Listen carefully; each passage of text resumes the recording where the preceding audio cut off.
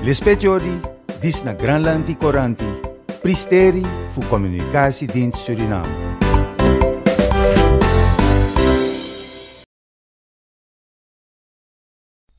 Overheidsinstanties buigen zich over regulering migratiebeleid.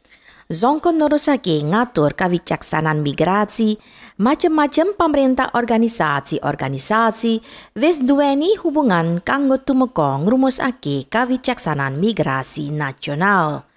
Tujuan rencana iki kanggo nyegai dening ilegal lang ngatur kawicaksanan migrasi.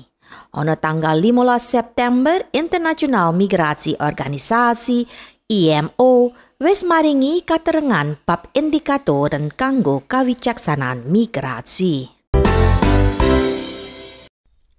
Peraturan belasting over de toegevoegde waarde 2022 sing wis dipersetujoni ono ing sasi Agustus bakal dimiwiti ono ing tanggal 1 Januari tahun rong ewu telulikur.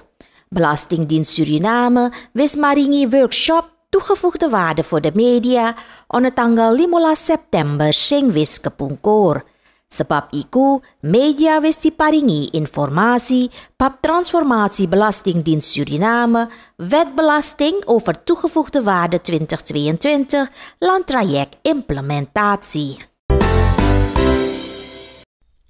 Ono ing Paramaribo Su, ono ing tanggal 14 September vakansieschoolproject leri nga pisiri e cari bung prakseri di pungkasi karo Rioyo. Anak-anak songko daerah de buurbuiten, land van Dijk, land Flora, piso wetoro seminggu ono ing liburan, melu karo macem-macem workshop pendidikan lan aktivitas. Inisiatif songko Stichting Rumas dibantu karo Direktoraat-Direktoraat Kultuur, Algemeen Vormend Onderwijs, Sportzaken lan Bureau Lispetiori, Disna Granlanti Coranti, Pristeri voor in Suriname.